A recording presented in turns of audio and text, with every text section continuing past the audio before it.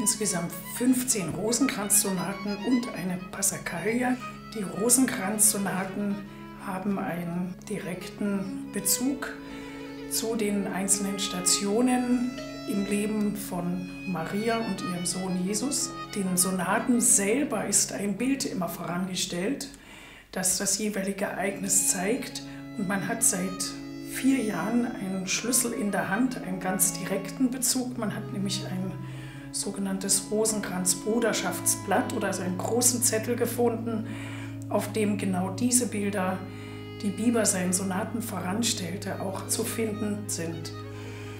Unabhängig davon hat der Komponist seinen Sonaten keinen Titel vorangestellt. Er hat nicht geschrieben Verkündigung der Geburt Jesu, sondern das Bild selber zeigt, wie der Engel Gabriel zu Maria kommt und man kann in der Musik, wenn man die hört, frei assoziieren.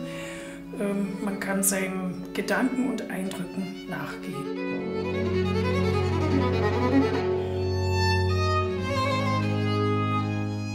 Die Rosenkranzsonaten sind nicht einfach nur barocke Musik, sondern die geistliche Ebene ist gar nicht wegzudenken davon. Die Musik ist schwarz auf weiß notiert, aber sie enthält bestimmte Figuren, bestimmte Bewegungen, die etwas auslösen im Spieler und ich hoffe auch beim Hörer, die Bilder entstehen lassen, so dass es einen ganz klaren Bezug gibt zwischen dem Ereignis bzw. dem Bild und der Musik selber. Sonate 6 stellt die Szene am Ölberg dar.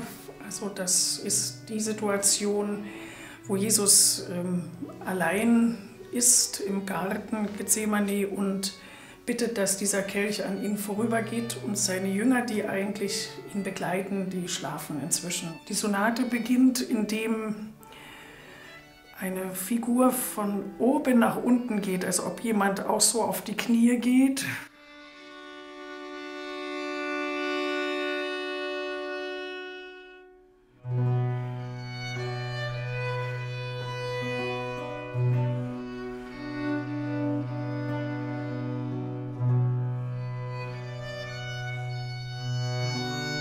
Das Rosenkranzgebet wurde für die Laien geschaffen.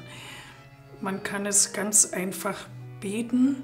Man spricht das und gerät in den Zustand mehr des Meditativen. Man hat, denke ich, dann auch im Lauf des Betens ein Bild, was entsteht. Und hier, denke ich, liegt eine Parallele auch zu den Rosenkranz-Sonaten wenn man das hört, dann entsteht ein Bild und man hat die Form der Variation als ganz starkes Element in Bibers Musik.